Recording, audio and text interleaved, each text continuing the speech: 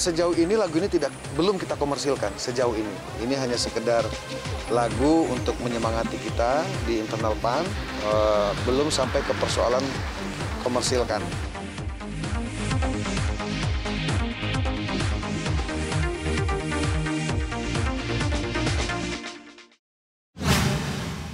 Alhamdulillah acaranya lancar.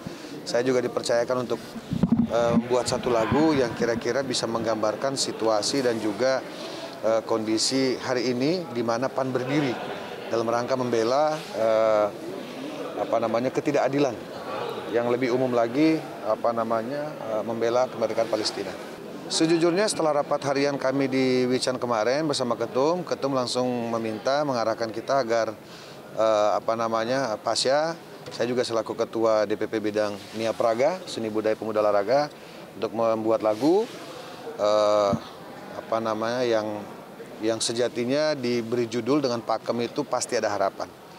Uh, kita menganggap bahwa pasti ada harapan ini selain tema uh, apa namanya agar supaya memberikan motivasi dan juga semangat bagi rakyat Palestina, bagi para pejuang-pejuang kemerdekaan Palestina dan juga bagi kita sendiri di internal Partai Amanat Nasional. Uh, sejauh ini lagu ini tidak belum kita komersilkan sejauh ini. Ini hanya sekedar lagu untuk menyemangati kita di internal PAN, uh, belum sampai ke persoalan komersilkan. Nah, nanti kalau misalnya pun nanti ternyata lagu ini bisa kita komersilkan dan ada hasilnya, ya pasti tentunya kita satukan dengan donasi yang sudah terkumpul. Kami semua, kami semua wajib Semua kader itu sifatnya wajib. Apalagi yang punya jabatan hari ini seperti yang di belakang saya, Pak Ketua POK ini. Ya kan jelas kalau misalnya teman-teman buka liriknya, dibaca satu bait demi bait itu kan di mana kita berdiri atas kejadian. Artinya itu sifatnya sebenarnya bisa bertanya, ya kan bisa juga penekanan bahwa posisi kita di sini. Gitu loh, bahwa PAN berdiri untuk uh, memperjuangkan kemerdekaan Palestina. Dan juga betul tadi apa yang disampaikan oleh ketum kita, bahwa terlepas hari ini terjadi kejahatan senjata, tapi kan penjajahan itu masih ada. Dan pasti akan terulang. Loh, ini persoalan dari kita kecil aja udah ada sebenarnya. Gitu. Yang dulu masih kecil sekarang jadi pejuang barangkali. Ya. Nah yang hari ini kecil mungkin 20 tahun lagi, 10 tahun lagi akan jadi pejuang lagi. Jadi akan seperti itu. Nah, di mana posisi kita baik baik secara umum e, bangsa Indonesia, e, baik apa namanya secara organisasi kepartaian kami PAN sudah jelas memposisikan diri untuk kemerdekaan Palestina. Ya. Ini kan lagu ini kan pasti ada pengikut sifatnya kondisional. Uh. Ada situasi di mana PAN tempat saya bernaung itu punya kebutuhan untuk statement.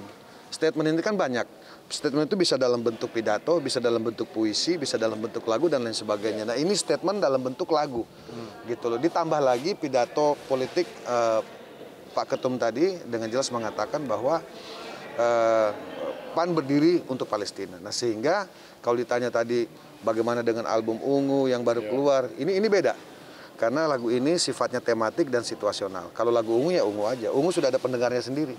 Klikers. Nah, klikers. Dan kita pengen tahu apakah lagu ini betul-betul bisa masuk ke dalam pertanyaannya adalah apakah tadi saya membawakannya dengan baik apa tidak? Baik, sangat baik sekali. Ah, itu saya juga nggak tahu dari mana. Saya pernah wawancara di Trans TV. Ada teman-teman media yang mengatakan bahwa e, rencana pasien ini ke, gimana? Ya saya katakan pada prinsipnya kami ini kader siap ditempatkan di mana saja, gitu kan? Toh kami juga sudah pernah duduk sebagai wakil wali kota dan juga PLT wali kota, ya kan, di Kota Palu. Nah pun kalau kemudian uh, dalam proses demokrasi khususnya pilkada ini memang ada apa namanya arahan ataupun rencana PAN untuk mendorong kader, ya saya tidak tahu kadernya siapa. Ya semuanya kan pasti bisa dibicarakan gitu kan. Nah, gitu loh. Kalau kita kader siap aja, siap saja mau ditugaskan di mana saja.